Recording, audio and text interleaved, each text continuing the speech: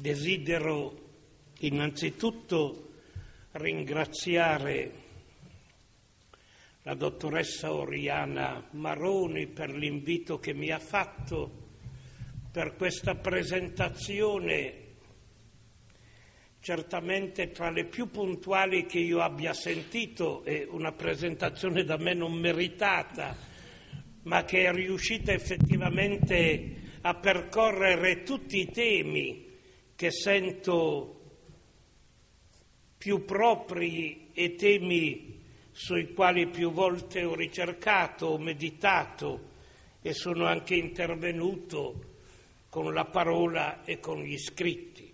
Ma vi dico anche la gioia di essere qui a Rimini, dove ogni tanto ritorno, so che tornerò di nuovo, mi sembra, non so più se fine febbraio, i primi di marzo, per i quaresimali come già venni forse lo scorso anno, due anni fa, e poi eh, a Rimini sono venuto tante volte, ma tantissime volte, forse trent'anni fa. Tra le prime conferenze credo di essere venuto più volte a farle a Rimini, ma dico 30, ma la mia età quando so, si dice 30, voi sapete, si dovrebbero aggiungerne altri 10 e forse sono 40.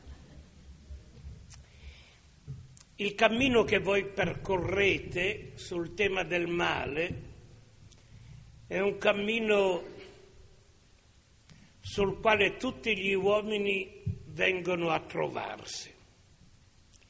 Non è possibile non riconoscere la presenza del male, perché del male ogni uomo, ogni donna, in ogni tempo e cultura fa l'esperienza. E se è vero che la vita dell'uomo è una lotta contro il male, è altrettanto vero che noi il male vorremmo rimuoverlo. E dobbiamo confessare che forse la nostra cultura dominante riesce in parte a rimuoverlo a non tenerlo presente all'orizzonte della vita, a negare il male o a fingere di non vedere il male. Eppure il male prima o poi ci appare con tutta la sua dynamis, la sua forza, la sua energia. E la forza del male è sempre mortifera è sempre una presenza apparentata con la morte. In realtà ogni volta che voi dite male, voi parlate del male, voi finite per pensare, per dire qualcosa che ha a che fare con la morte. Il sogno dell'uomo è proprio quello di vincere il male ma anche di non vederlo, di non considerarlo, perché il male è sempre nello stesso tempo sofferenza, dolore, morte e poi il male quando si presenta alla persona più semplice e vorrei dire senza disprezzo più rozza, come alla persona che ha fatto dei cammini intellettuali raffinati, ma il male provoca sempre la stessa domanda. Le domande che la dottoressa Baroni ha posto a tutti. Perché il male? Da dove il male? Che senso ha il male? È possibile vincerlo? Io sono sempre stato impressionato, fin da quando ero giovane, da una lettura nella vita di Buddha. Voi conoscete certamente la storia di Gautama, il Buddha, che è altamente istruttiva per noi. Sta scritto nella sua biografia che il padre di Buddha era un re e temendo che per avventura suo figlio avesse a vedere qualcosa di male che potesse turbargli l'anima, gli ordinò di dimorare sempre all'interno del palazzo regale e di astenersi dal viaggiare, dal vagare fuori del palazzo. E così Gotama crebbe, fu educato in quel recinto felice, godendo della bellezza, dell'arte, della pace familiare, della ricchezza di una famiglia regale. Ma a un certo punto, dice la storia del Buddha, che sentì quel luogo come una prigione. E allora un giorno riuscì a scappare, ad andare fuori, fuori dal recinto, fuori dalle mura di quel parco e di quel palazzo. E come cominciò a viaggiare, innanzitutto incontrò un vecchio decrepito. Non pensava, nel palazzo tutti erano giovani. Ha visto un vecchio che stava per morire, decrepito. Poi vide un uomo malato e poi vide un cadavere. E così Buddha vide la realtà più semplicemente vide la condizione umana nella sua verità. Da quel momento Buddha cominciò a farsi delle domande. Non tornò più nel palazzo. Sentì il bisogno di rispondere fino a quando ebbe l'illuminazione e cominciò la sua vita di monaco la sua vita di maestro, la vita del Buddha l'illuminato, grande insegnamento per le genti dell'Oriente. Ecco, a me pare che la nostra società abbia un po' la stessa preoccupazione del padre di Buddha. Si sforzi di escogitare vie per impedire la visione del male. Anche noi, più o meno consapevolmente, rimuoviamo il male in molti modi. Stiamo il più possibile lontani dai morti e dall'evento della morte. Stiamo lontani da quelli che soffrono. Al massimo aiutiamo i sofferenti e ci esercitiamo in quella che io chiamo ormai la carità presbite questo amore per quelli che stanno lontano, pur di non vederli, poi li amiamo tutti. La cui forma in voga, permettetemi, senza colpevolizzare nessuno, ma è significativa, è l'invio di qualche euro attraverso un sms. Ci sentiamo la coscienza a posto, il nostro amore presbite fa arrivare un aiuto ma se dovessimo solo invece di quell'aiuto dare la nostra presenza a quelli che aiutiamo o accoglierli nella nostra casa, non so se ci sentiremmo altrettanto buoni e caritatevoli. La realtà resta e per chi aderisce alla realtà il male è presente e prima o poi è operante nella nostra vita. Basta poco per riconoscerlo. La malattia. Pensate alla malattia che ci coglie nel corpo, ci coglie nella mente e la malattia è sempre un anticipo della morte. Non ci si ammala per guarire, ci si ammala per morire poi lottiamo e qualche volta riusciamo a vincere temporaneamente la malattia. Ma questa è la prima esperienza di male che facciamo tutti. Ma poi pensate alla sofferenza, quella causata dagli altri quando ci abbandonano, quando ci tradiscono, quando esercitano inimicizia nei nostri confronti, quando addirittura arrivano alla violenza.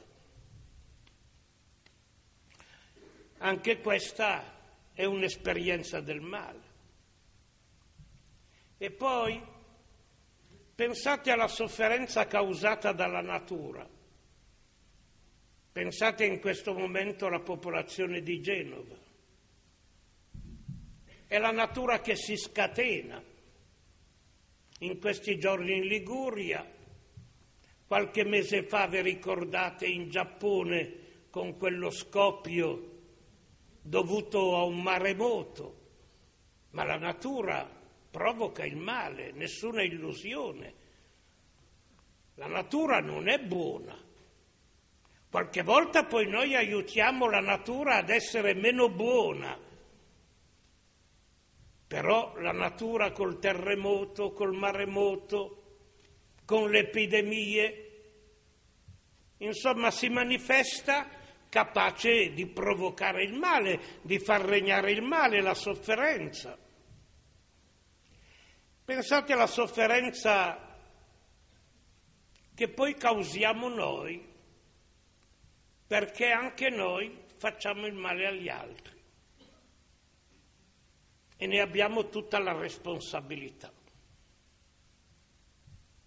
Ma soprattutto va precisato una non trascurabile dimensione il male di cui siamo soggetti, il male che commettiamo con azioni, parole o omissioni. È un male che è frutto del nostro agire. Qualche volta non ne siamo consapevoli, molte volte lo facciamo senza magari misurarne tutte le conseguenze.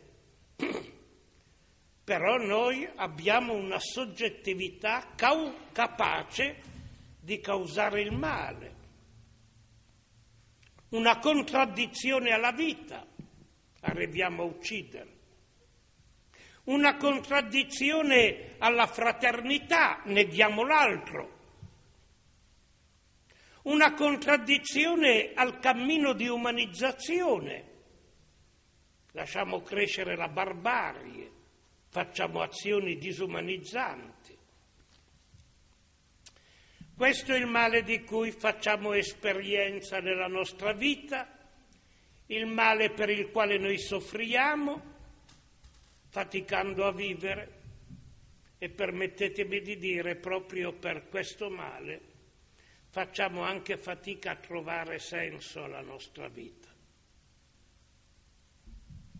Va detto con chiarezza, tra le creature solo l'uomo ha la coscienza del male in tutte le sue dimensioni. Gli animali soffrono, ma non hanno coscienza del male, né del male che possono fare, né eventualmente del male che ricevono. Hanno un istinto per la vita, un istinto grazie al quale pensano alla propria sopravvivenza fino a esercitare la violenza oppure sono oggetto di violenza da parte degli uomini o da parte di altri animali. Noi invece, noi uomini, sappiamo discernere il male e grazie al fatto che sappiamo discernere il male, noi sappiamo discernere il bene. Direi che è proprio dell'uomo nelle sue profondità quello che dicevano i grandi teologi del Medioevo, l'essere capax boni, capax mali. L'uomo è capace di conoscere, di fare il male, è capace di conoscere, di fare il bene. Unica creatura in tutto l'universo. Noi ci possiamo fare allora la domanda, insieme al Salmo 8, che cos'è l'uomo? E voi che conoscete un po' la Bibbia sapete che la risposta del Salmo 8 è poco meno di un Dio. Ma questa domanda viene ripetuta nel Salmo 144 e di nuovo si dice che cos'è l'uomo?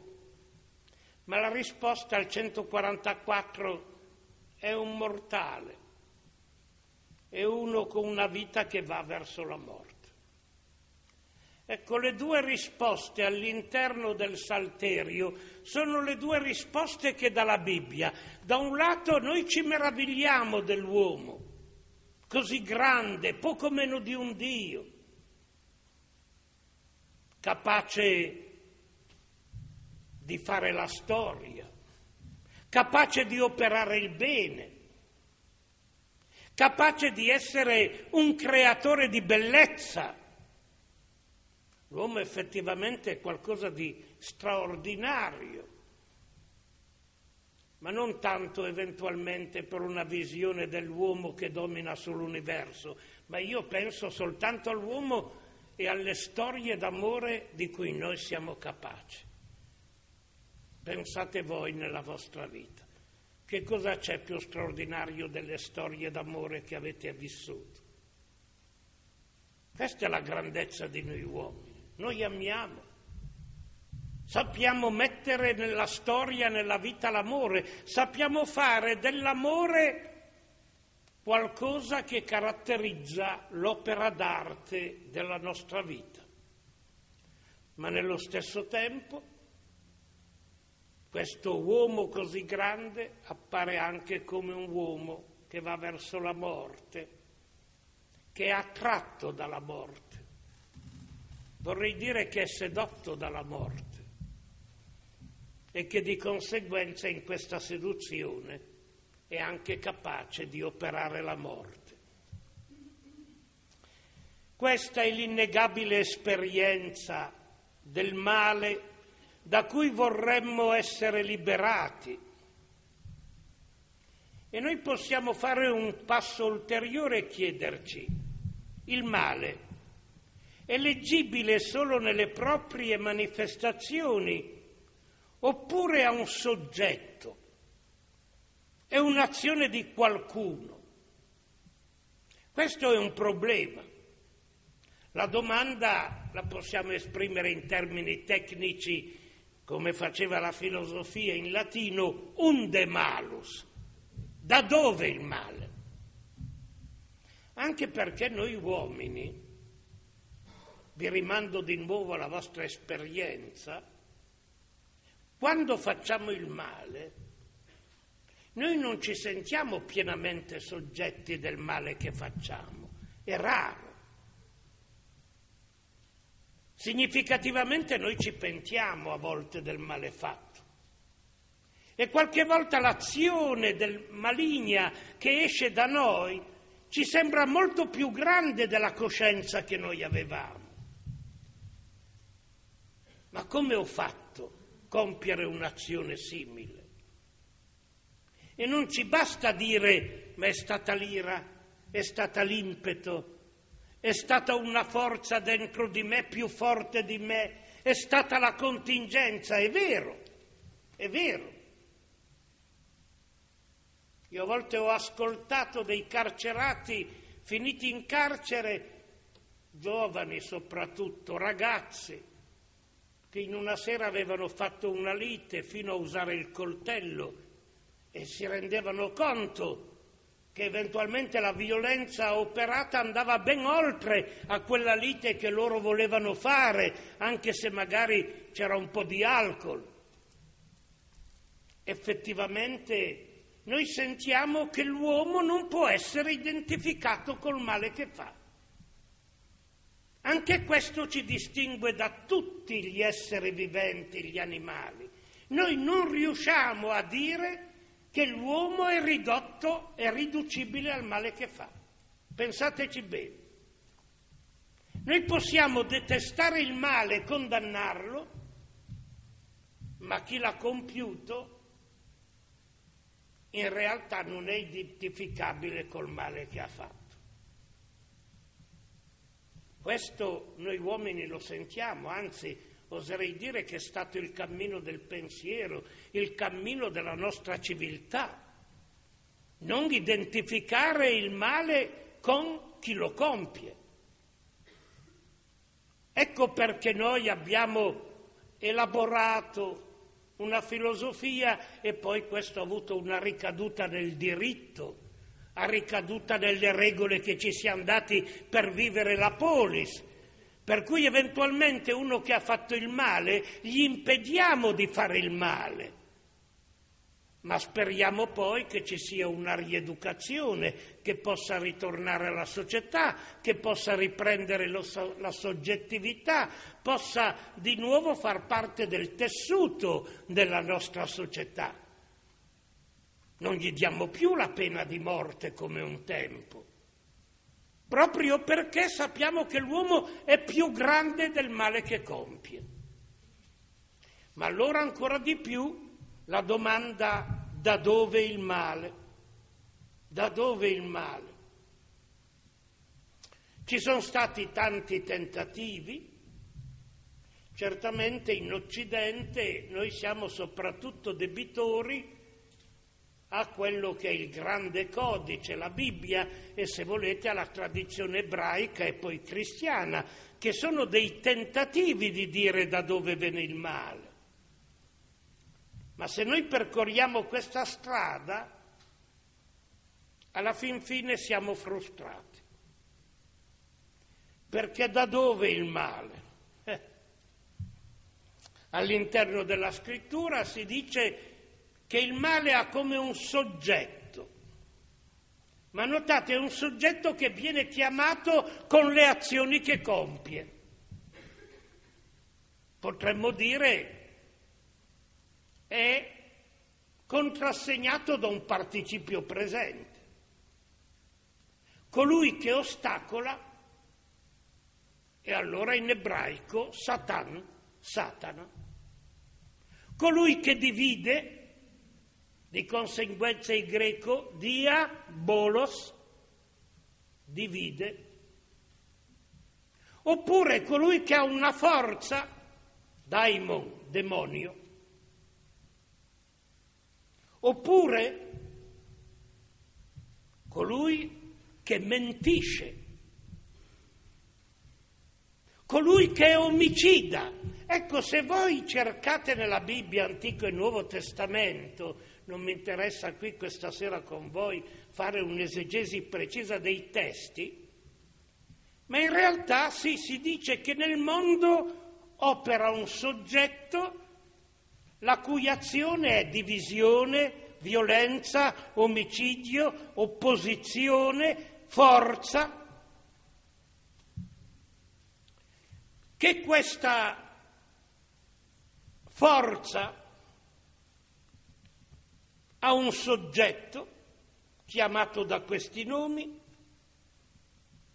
questa forza opera in questo mondo e opera il male fino addirittura a ricevere un nome, il maligno, colui che fa il male, Poneros. D'altronde quando dite il Padre nostro, significativamente, voi lo sapete, l'ultima invocazione, ma liberaci dal male, attenzione, se fossimo veramente fedeli al testo greco, noi dovremmo in realtà dire liberaci dal maligno.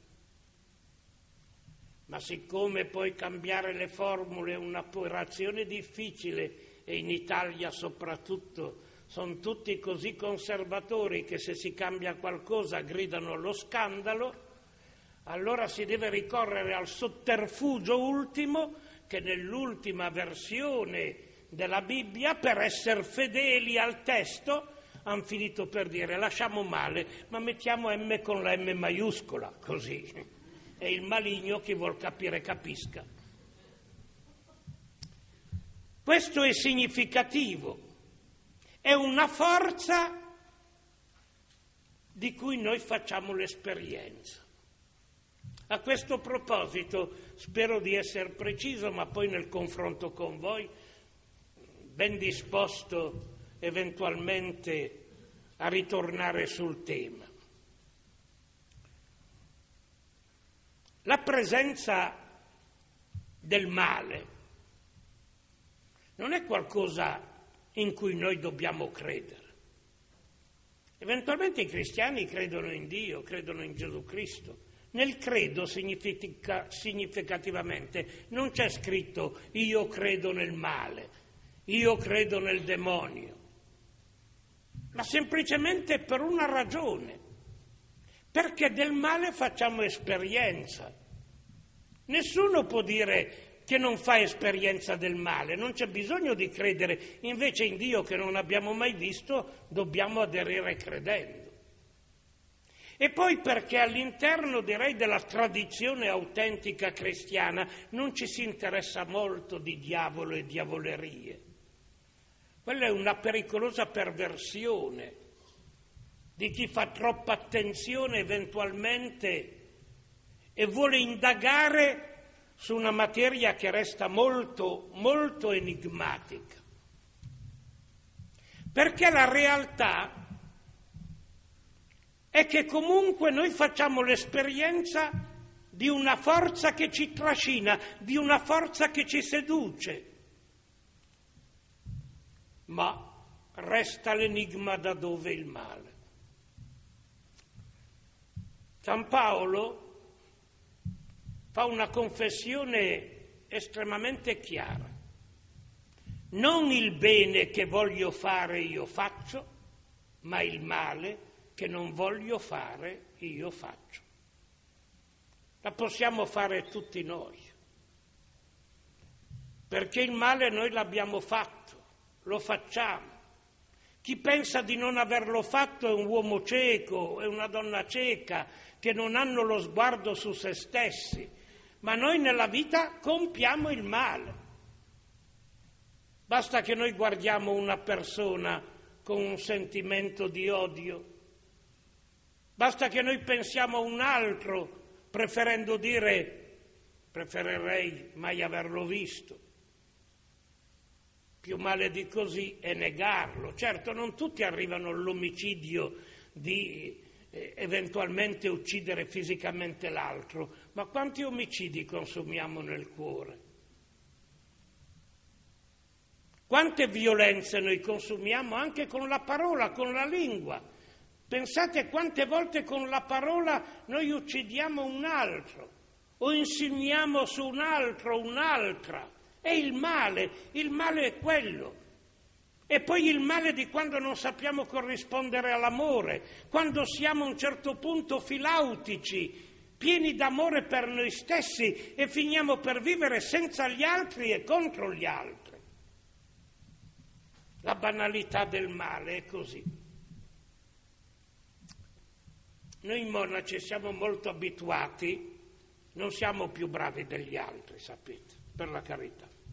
Il titolo di un mio libro su noi monaci si intitola Non siamo migliori, messo le mani avanti. Ma è vero che abbiamo tanto tempo per guardare bene quel che facciamo. La nostra vita di solitudine ci permette tanto tempo in solitudine per pensare. E vediamo sovente la banalità del male dove gli altri non la vedono, ma noi siamo cattivi. Vi faccio un esempio così capite bene. Noi monaci mangiamo insieme a tavola. A mezzogiorno il terzo piatto è la frutta. Passa il cestino con le mele. State tranquilli che la mela più brutta resta all'ultimo.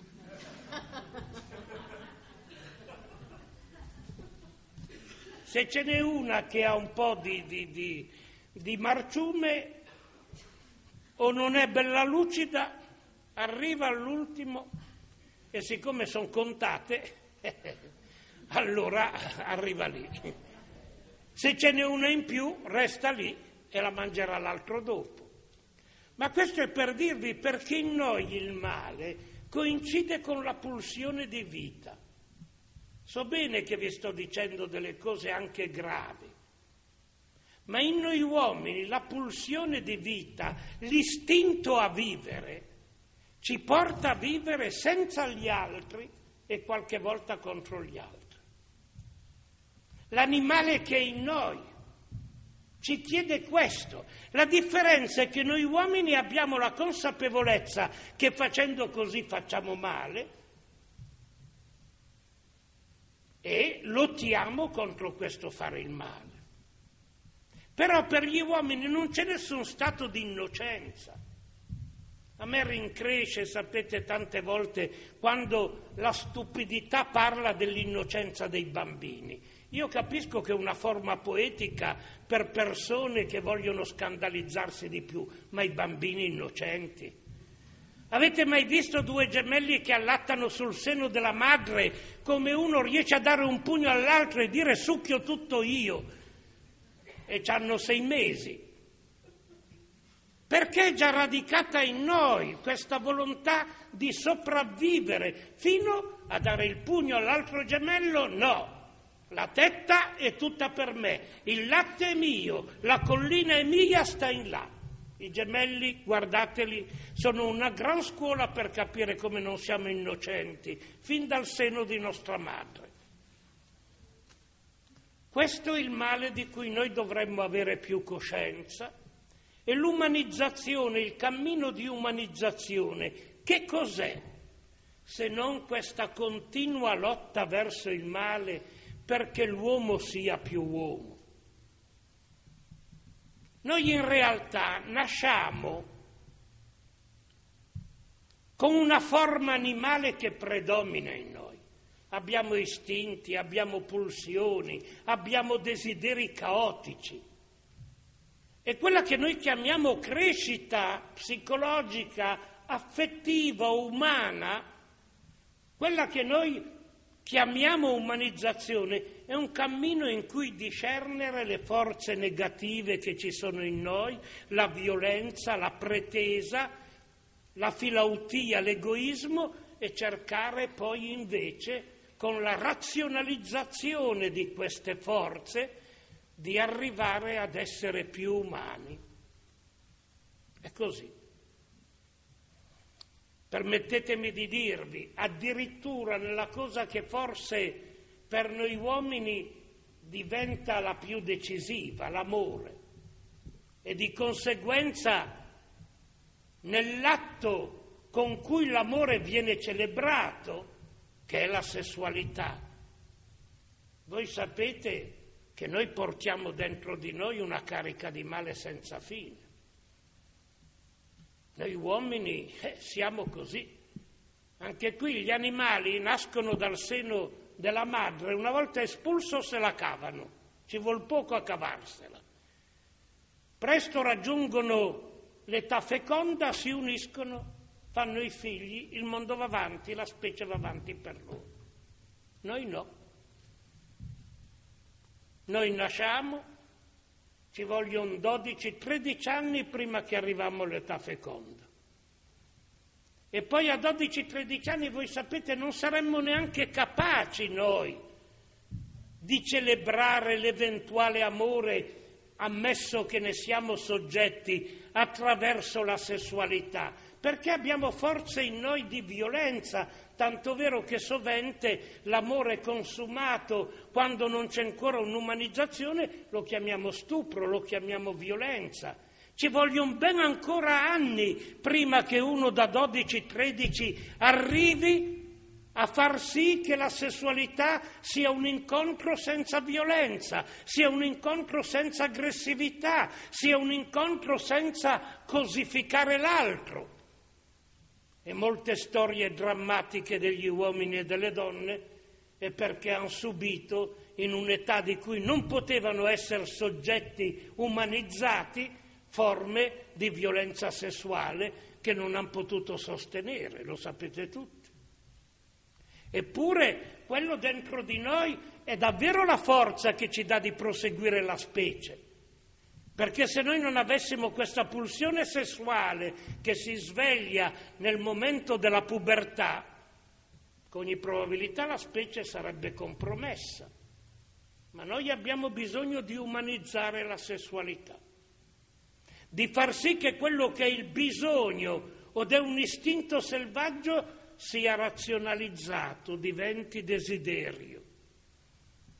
È un lungo lavoro che dobbiamo fare tutti e chi ha vissuto una vita di coppia lo sa, come non è, oserei dire, naturale e facile l'incontro all'interno della sessualità, perché siamo diversi, perché bisogna rispettarsi, perché bisogna soprattutto arrivare a una sessualità parlata in cui c'è il rispetto l'un dell'altro. Vedete anche nella cosa più direi determinante la nostra vita, l'incontro con una donna o per le donne l'incontro con un uomo, all'interno di una storia d'amore ci sono tante pulsioni di violenza.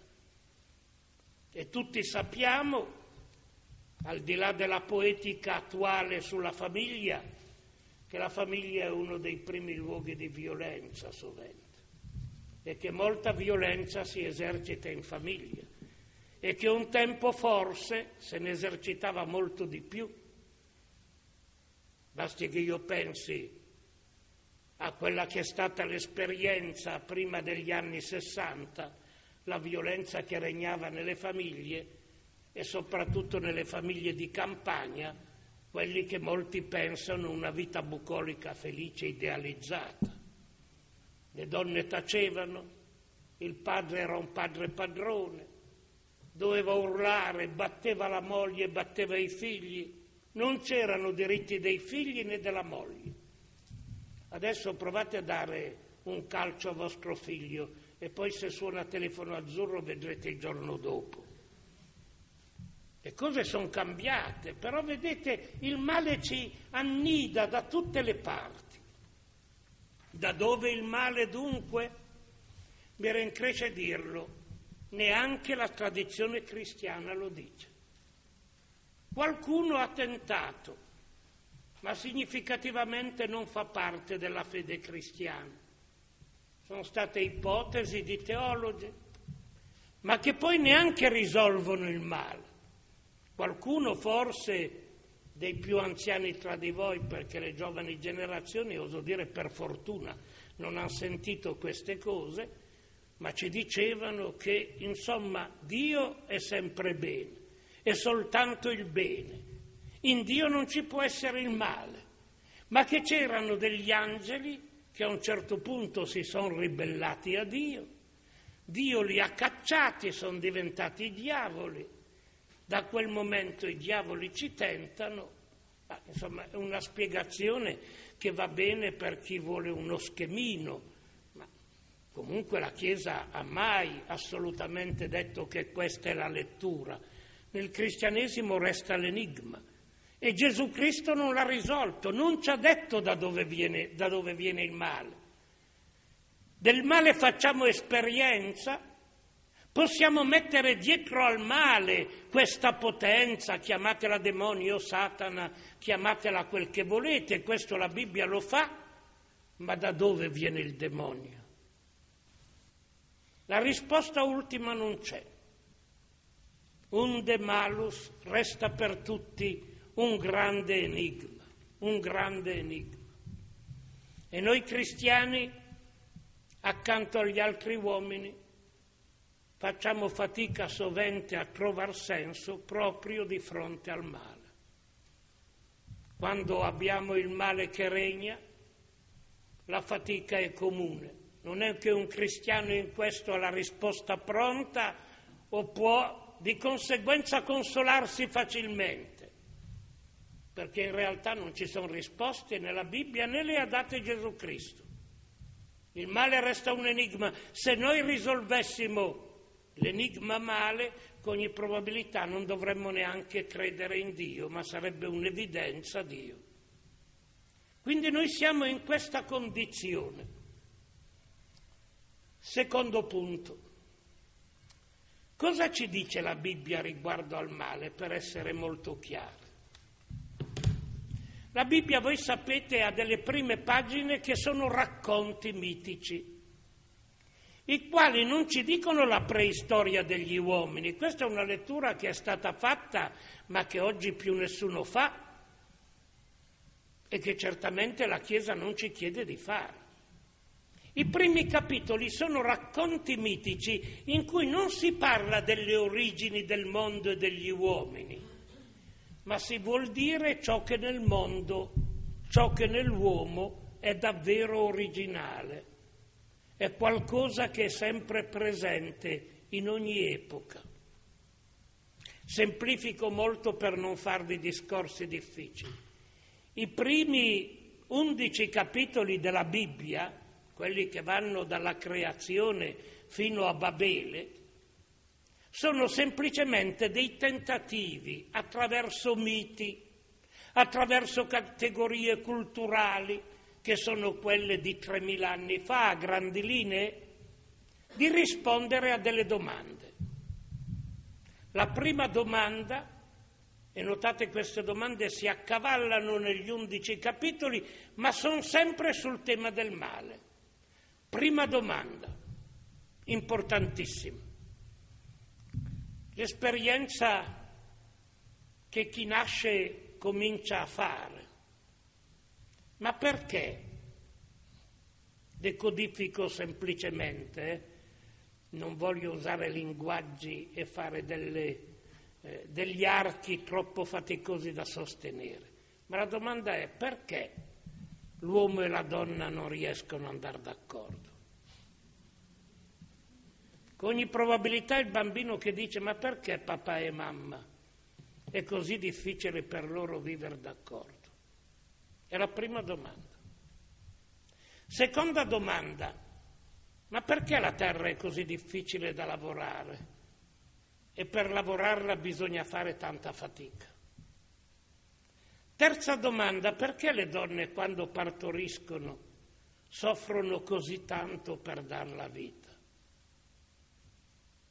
Quarta domanda che viene fatta, ma perché addirittura ci si arriva a uccidere tra fratelli? E poi aumenta il male.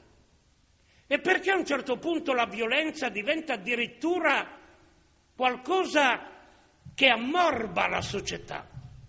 E ultima domanda, com'è possibile che c'è un progetto totalitario in cui un solo potere vuole avere in mano tutta l'umanità, Babele? Ecco le domande, sono molto semplici. Potremmo considerarle tutte, ma credo che, che siete in grado di leggere e di vederle. Cerchiamo dalla prima, quella che voi tutti conoscete. Si dice che l'umanità, l'uomo e la donna, sono all'interno di un grande parco, un bellissimo parco, in cui ci sono migliaia e migliaia di alberi da frutto. Pensate, potremmo dire che erano anche forse lo capite meglio, in un grande supermercato di frutta in cui c'era un mandarino, un ananas, una banana, un grappolo d'uva. Pensate le migliaia di frutti della terra su una bancarella. È la stessa cosa, forse è più chiaro come ve lo rendo io, perché i termini ebraici albero, noi pensiamo subito un albero con tante mele. In realtà si dice che c'era un albero e che a un certo punto l'uomo e la donna, rappresentanti la polarità dell'umanità, c'è un albero, c'è un albero. Allora il vero problema qual è? Quell'albero mi dice un limite, perché se c'è un albero e siamo in due, o l'albero lo condividiamo, o altrimenti è un limite. Se lo mangio io, sono un limite per la donna, se lo mangia la donna è un limite per me. Semplicemente il limite. Decodifichiamo, Dio dice, attenzione, voi potete mangiare di tutti gli alberi del giardino, tutti, migliaia, migliaia, milioni, di uno no. Non è un giochetto, pensate che davvero Dio diceva a te, adesso provate e poi... No, uno, il limite, perché se erano in due c'è il limite dell'altro. E il limite che io sono qui e la signora Maroni è lì, eh, c'è poco da fare, lei mi limita, il banco non è tutto mio, io sono un limite per lei perché il banco non è tutto suo. Ma certo, quel testo è un testo in cui voi donne non, non, non valete molto, siamo un tempo di patriarcato, quindi ce la si piglia un po' con voi, siamo noi uomini che abbiamo scritto la scrittura. Si dice che la donna cominciò a guardare quell'albero, notate non dice il frutto, vide che era buono da mangiare, appetitoso per gli occhi e poi che poteva dare forza, potenza, potere. E allora la donna lo piglia e lo mangia. Cioè, vedete, il problema di quel capitolo è un problema del male. Da dove nasce il male? Non ci viene detto, ma ci viene detto che noi siamo sedotti da qualcosa, che lo vogliamo per noi, senza nessun limite. Se volete, quel capitolo io lo intitolerei, decodificando per oggi, tutto e subito. È la logica del tutto e subito. Io voglio tutto l'albero e subito per me. E gli altri? Ecco, vedete, da quel momento si dice che l'uomo e la donna hanno cominciato a incolparsi a vicenda. Allora l'uomo comincia a dire no, no, è la donna, guarda che ha mangiato il frutto. La donna dice no, è il serpente, qualcosa che si è insinuato in me e mi ha fatto incantare dall'albero. Ma il male è commesso e subito dopo noi vediamo l'uomo e la donna con una guerra. Noi dobbiamo leggere bene quando la voce di Dio dice tu ormai donna avrai sempre il desiderio dell'uomo, ma lui ti dominerà. Se fosse stato scritto in un momento di matriarcato si sarebbe detto tu uomo sarai attratto dalla donna e la donna ti calpesterà. Ma nel patriarcato è potuto solo venire fuori un testo in cui la donna è dominata. Ecco allora cosa risponde la domanda. E poi il male più grande. Si dice che due fratelli, uno pastore, l'altro agricoltore, ed era il dramma vissuto, e il dramma vissuto 3000 anni fa, quando c'è stato un cambiamento nel mondo in cui i pastori hanno cominciato a fare le città, a diventare sedentari, a coltivare la terra. C'è una nuova classe, i pastori, gli agricoltori, e la nuova classe scalza la vecchia. Allora Caino, agricoltore, uccide Abele pastore, ma erano due fratelli e la violenza fino all'assassinio. E poi significativamente Babele dove il potere è totalitario. E non a caso voi ritrovato alla fine della Bibbia nell'Apocalisse questi capitoli che evocava prima la dottoressa Maroni, che io vi invito ad andare a leggere il capitolo 12 e 13, il capitolo delle due bestie, in cui questo visionario dice ho visto una bestia che veniva dal mare, da ovest, certamente leggeva l'impero romano, una bestia che uccide i giusti, che ebra del sangue dei giusti, che crea vittime sulla terra. E poi ho visto un'altra bestia che veniva dalla terra, cioè dalla zona dell'attuale Turchia, la quale è una bestia a servizio della prima. E Giovanni dice è la propaganda, di cui la prima non può fare a meno. Quindi questa bestia chiede agli uomini di innalzare una statua alla prima bestia. Che effetto tutte le volte che vedo queste statue, l'ultima di Gheddafi, l'avete vista? Sembra ormai che siamo abituati, una volta non le vedevano, ma già ai tempi dei greci e dei romani avveniva, ma in cui Ecco la prima bestia a cui si sono fatte statue, poi in realtà. Ma la propaganda seduce gli uomini, la gente vi partecipa. Si dice in quel capitolo che addirittura la gente dice ma vedete la bestia, non possiamo mica fare senza di lei, perché è così brava. Ogni tanto sembra che sia cacciata, sembra che perda, si dice è finita, è finita, è finita, gli si fa una ferita, dopo tre ore la ferita si rimargina e allora la gente dice vedi che intanto continua a vincere questa bestia, continua a reggere lei. Leggeteli, guardate e vedrete che non avrete bisogno di fare attualizzazioni. Ma è importante, il potere totalitario è quello, il gran capo, il Führer, il timoniere. Noi nel secolo scorso, la mia generazione li ha visti tutti ancora nella vita. Dal Dux al grande Soviet, al gran timoniere, li abbiamo visti. È il potere totalitario che schiaccia, la cui violenza crea vittime senza fine. Ecco il male. Ecco il male. Ecco, io ho cercato di declinarvelo semplicemente dal livello più personale e quotidiano, il male che ci coglie nella nostra vita, al male quando prende la dimensione politica, societaria del potere totalitario.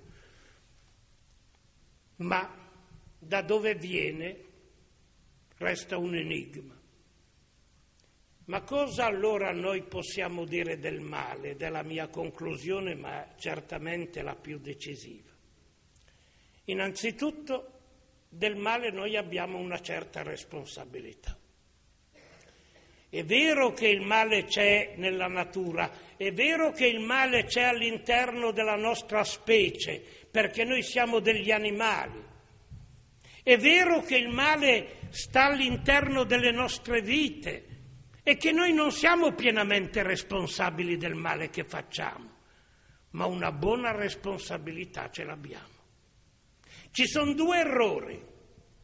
Dire nessuno è responsabile del male, un uomo semplicemente fa il male ma senza responsabilità. Ultimamente voi sapete il tentativo delle neuroscienze che dicono ma se anche uno uccide, ma è per problemi di processi chimici nel cervello che uno piglia l'aggressività, non tutte le neuroscienze, eh, ma molti dicono c'è un tale determinismo in noi che uno che fa il male è perché no. E l'altro rischio è dire ma solo è responsabilità di ciascuno di noi, non è vero. Il male ha una responsabilità sempre collettiva. Questa è la prima cosa. Vi do un esempio semplice di cui ho scritto nell'ogni cosa la sua stagione, ma che è molto importante. Io penso sovente a quando ero piccolo, eravamo quattro ragazzi all'interno di un paese di contadini di 700 persone nel Monferrato. E il più bravo e il più intelligente di noi era il figlio del sacrestano. Una famiglia di nove figli, un sacrestano pigliava nulla, gli davano ogni tanto dei resti degli aiuti americani che i parroci distribuivano nel dopoguerra. Poveri, ricordo la madre che doveva tutte le sere fare latte e pane o latte e resina, sapete quella resina che si dava anche alle galline, in cui c'erano i sassolini dentro. Ecco, ogni tanto mi invitava a casa sua perché tirassimo via i sassolini e non mangiassero i sassolini. E questo era un ragazzo però intelligente, bravo. Certo non ha potuto né studiare nulla. Un giorno mi dicono che aveva compiuto una rapina a mano armata era scappato un morto e che era nel carcere d'Alessandria. Sono andato a trovarlo. Ci siamo visti più volte, adesso lui è morto. Ma io tante volte mi dico perché lui ha fatto questa fine e tu no. Forse mi dico Tu sei più bravo di lui? No. Ma attenzione, il mio discorso non è di umiltà, è un discorso di verità. Io certamente in buona parte sono stato più fortunato di lui. Sono cresciuto con persone attorno in cui potevo mettere fiducia e quando sono arrivato in età matura ho sempre trovato persone che hanno messo fiducia in me. E allora è facile non arrivare a delinquere. Non che io non commetta del male, anch'io, ma forse a quel punto lì è facile ho avuto una vita facile.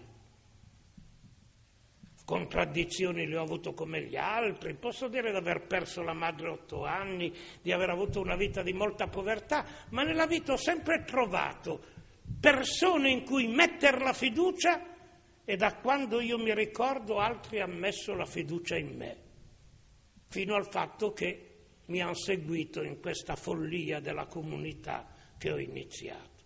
È facile non arrivare a delinquere, può darsi che ci arrivi ancora, eh? ma... però insomma è facile, ma quando uno ha una vita in cui non ha persone in cui mettere la fiducia e in cui nessuno ha avuto fiducia in lui, certo ci avrà una responsabilità, ma io non mi sento migliore di lui. E quanti nelle vostre famiglie che magari sono arrivati a delinquere o sono arrivati a comportamenti che voi giudicate cattivi, ecco, interroghiamoci. Hanno avuto gente che aveva fiducia in loro? Hanno potuto mettere fiducia in qualcuno? Vedete il male dove alberga? Certo, poi c'è sempre una responsabilità personale, ma non diciamo che è tutta responsabilità personale. Chi ha una vita contraddetta fa fatica a vivere, fa fatica a vivere, non tutti facciamo la stessa fatica a vivere.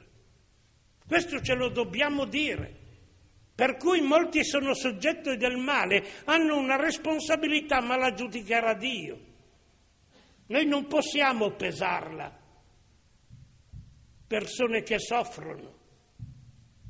Pensate solo a quelli che sono in una condizione di miseria tutta la vita e che vedono gli altri che stanno bene e non hanno mai avuto la possibilità di uscire dalla miseria in cui si trovano. Ma non per cattiva volontà, magari perché sono nati handicappati. Il dolore, io lo dico sempre, non è mica vero che fa bene. Un certo cristianesimo ha detto molte sciocchezze su questo, chiedendo rassegnazione o dicendo che il dolore purifica. Sono stupidaggini, il dolore sovente abbrutisce, il dolore fa diventare sovente più egoisti. Avete mai visto in casa un padre, uno zio, un nonno che ha l'ictus? Dopo l'ictus è nervoso, non è più come prima, ha pretese, diventa più difficile vivere con lui. Le persone che hanno il Parkinson sovente si trasformano in una vera tirannia, prima erano dolci. Il male non è vero che fa bene, sovente fa male e per resistere al male ci vogliono tante energie umane, tante energie per combattere col male, perché l'unica maniera di combattere con il male è dire io anche in una situazione di male, di sofferenza, di morte, voglio continuare ad amare e voglio continuare ad accettare di essere amato. E invece noi, nel male alcune volte non accettiamo neanche più di essere amati da quelli che ci stanno vicini. Non è facile. Non seguiamo degli schemi ideologici, guardiamo l'uomo nella sua realtà. Io dico sempre guai, maledetti cristianamente, quelli che parlano di poveri, di stranieri, di emarginati, di handicappati. Guai a loro, perché dovrebbero esistere soltanto degli uomini non delle categorie messe nei cassetti, dovrebbero esistere un uomo, una donna che io incontro e che conoscendolo scopro qual è il suo bisogno. Alcune volte sarà l'handicap, alcune volte sarà una depressione, alcune volte sarà un vizio, alcune volte sarà una malattia, alcune volte sarà la povertà. Ma è un uomo o una donna che devo incontrare, non una categoria. Io davvero penso che il vero problema del male è di non fare delle categorie colpite dal male ma di guardare sempre un uomo e una donna e avvicinarci a chi è nel male perché è un uomo e una donna, non in base al male che ha. Perché se io mi metto in testa che lui è handicappato e io voglio aiutarlo da handicappato, magari non scopro che lui semplicemente, lei, ha bisogno di uno sguardo d'amicizia e non qualcuno che gli compianga o lo aiuti per l'handicap. Voi sapete la storia straordinaria di quel monaco che faceva tanta carità e il suo padre spirituale, che lo conosceva bene, ha capito che questo non faceva proprio la carità. Allora gli ha detto adesso per penitenza tu vai ad Alessandria d'Egitto e per una settimana dalle sei del mattino alle sei di sera per strada chiedi l'elemosina. E questo monaco obbediente andato ad Alessandria, teneva il suo cappuccio e chiedeva un pochettino di denaro. Alla fine è tornato in monastero e l'abate gli ha detto hai capito? Dice sì, ho capito. Quasi tutte le persone che passavano mi hanno dato una moneta. Nessuno mi ha guardato negli occhi. Nessuno mi ha chiesto perché sono sulla strada. Nessuno mi ha chiesto qual era il mio bisogno. Nessuno mi ha chiesto che cosa mi fa davvero soffrire. Noi dobbiamo stare attenti, il male è un appello alla carne umana, un uomo, una donna. E allora scopriamo prima di tutto che il male è molto più presente. E l'ultima cosa che scopriamo, che è la conclusione del mio intervento, anche se detto breve, ma l'ho detto tante volte, è che l'unica vittoria contro il male la ottiene l'amore. Non la ottiene assolutamente l'antidoto preciso a quel male, ma l'amore. L'amore è l'unica vittoria assicurata sul male. Quando noi amiamo e sappiamo amare, forse anche la persona che soffre può trovare un senso al cammino di lutto, di tenebra a volte di morte che fa. Lo sanno quelli che accompagnando chi va verso la morte non parlano tanto, sovente gli tengono una mano e gli stanno vicino dando la loro presenza e semplicemente una mano. Il male lo si vince con l'amore, per quanto è possibile a noi uomini. E qui il cristianesimo mi sembra abbia la parola decisiva non ci dice da dove il male, non ci dice perché il male, ma ci dice come combattere il male, con un amore intelligente, vero, è un amore che individui l'altro nella sua carne, nella sua verità di persona, uomo, donna non importa se straniero, se religioso, se credente, se non credente, se santo, se peccatore, se giusto o delinquente. In quel caso lì noi riusciamo a non vedere il male che l'altro ha fatto, ma vedere un uomo. Altrimenti ogni volta che ci avviciniamo a un altro, l'immagine del male che lui ha fatto non ci permetterà di amarlo e di avere una vera comunicazione con Lui. Grazie dell'ascolto.